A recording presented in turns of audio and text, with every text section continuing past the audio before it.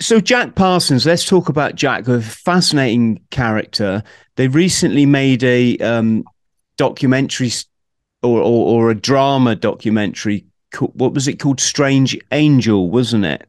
Yes, yes. I was on uh, CBS TV in America. Yeah. Mm. Essentially, he was like the guy that was originally behind NASA.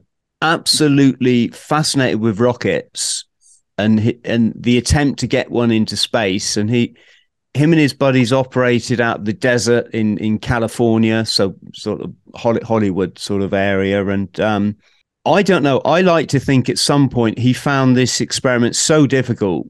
You know, the rockets were all flying off. They they they certainly weren't weren't getting anywhere near quote unquote space, whatever whatever that might be.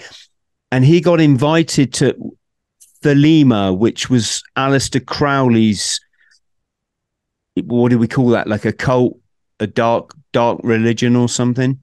It's just basically a religion. It's not even dark. It's just a religion. Yeah.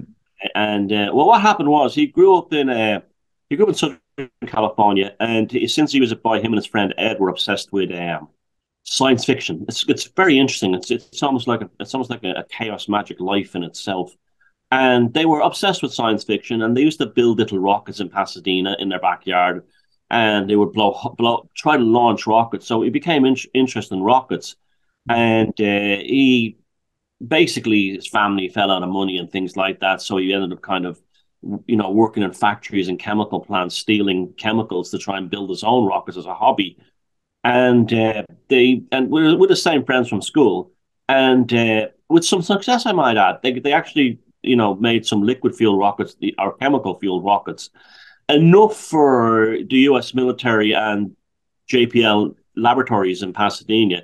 That's Jet Propulsion Labs, not Jack Parsons Labs. That became a kind of a joke later. But uh, to give him grants to actually develop a rocket thruster for aircraft. The Americans were not interested in rockets. They were having tremendous success with aviation and building airplanes. So they, they didn't really have an interest in rockets. Uh, so he, he he formed a company, a jet propulsion company, Aerojet company, and they they successfully built during World War II thousands of these rocket motors to give an aircraft a, a boost, right? And uh, while this was all going on, he was in underneath a Hollywood sign. He heard about this thing called. He was always interested in. He was an you know was an educated man. He was the head of the, the Los Angeles Science Fiction Club, and he was always interested in offbeat things and he was invited to this uh, this this Thelema group in, in in Hollywood, and they had a thing called the the Gnostic Mass, and it's basically an, a, a mass that they do, and it just blew his mind, and so he he realized that there were answers here that were outside the that explain the strange things in science or in accidents that should have like accidents that went wrong, but they actually turned out to be the right thing there was like a, an unseen force in the universe. He, he, he threw himself wholly into magic and the occult. At the same time, he was building the rockets. At the same time, he was in contact before World War. This is before World War II with Wernher von Braun, who eventually invented the Saturn V rocket. He was shocked, and all the Americans were shocked to find out just how far behind the rockets were in America compared to Germany. The Germans were light years ahead. But and Ver, Wernher von Braun was also a science fiction head, which is very interesting. These guys were brought they, they took science fiction and made it into reality in many ways. His life, he, he started this thing called the Agape Lodge, which was in Pasadena, and it was um, basically a kind of a, a hippie loving thing before the hippies came along and he was getting paid a good salary then by Aerojet Corporation. So he had this like commune. We call it a commune of like mm. artists and writers and you know good looking women and stuff like that. After a while, this guy called L. Ron Hubbard comes in, who goes on to be the founder of Scientology. Jack Parsons becomes spellbound by him, mainly because Parsons lacked his father walked out on him when he was young, and he had this long term need for a father figure. And he got interested, introduced to people like Crowley through dialogue and letters and Crowley and Parsons became kind of surrogate father figures for him. They became, as, you know, he used to write to Crowley in England saying, my beloved father, and things like this. And there's a genuine affection there. Now, Crowley was getting, was getting on at this point. Now, they Parsons and Hubbard really got into magic, and they had this concept of creating something called the Moonchild. And it's a really amazing story. There's a book by Crowley. It's an actual fictional novel. I mean, it's quite a fun read called Moonchild. I had a copy. I don't know where it is right here. And it talks about a, an occult group who implanted into a woman a magical child called the Moonchild, with the uh, with the process of making the human race eligible for the next stage of reality. You know this kind of thing. Now, this must have appealed to Parsons and Hubbard in some way because maybe they were th- Parsons was probably thinking it's not going to be easy for humans to to exist in space, as we found out. It's not. It's really they come back with all kind of health problems and mental problems and everything.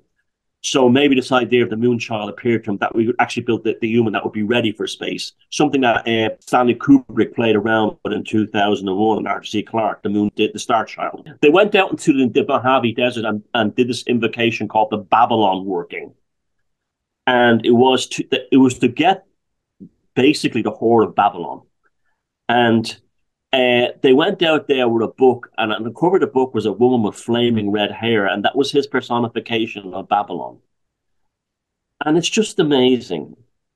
When they come back from the ritual, this gorgeous red-headed vamp called Marjorie Cameron is waiting for Parsons in his in his in the Pasadena Lodge.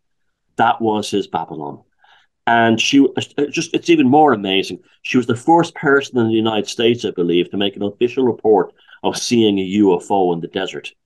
And she became his muse and so on. And you know so the babylon ritual it actually worked. It worked. Now unfortunately parsons died in an accident when he was working on a new kind of rocket fuel and the motor exploded in his garage and killed him.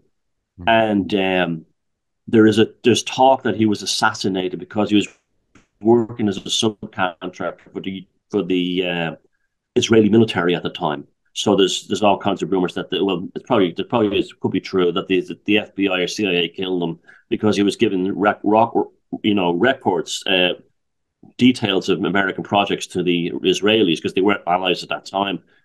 But however, from that man's life, from two from two eight year old boys building rockets in the backyard, the Saturn V rocket landed on the moon and you can draw a clean trajectory. And it's like, oh my God, it's like, you know, they they started the rocket motor company Aerojet. They founded what became JPL. JPL brought over uh, Wernher von Braun after the war for Project Blue, uh, Project uh, Blue Book, not Blue Book, uh, Project Paperclip, Paperclip and then yeah. yeah, and then that became the the Apollo pro, the Mercury program, Apollo program. The man landed on the moon, and it started with two little boys experimenting in passage. It's one of those kind of like, if it was if it was written out as a fictional story, you wouldn't believe it. Mm.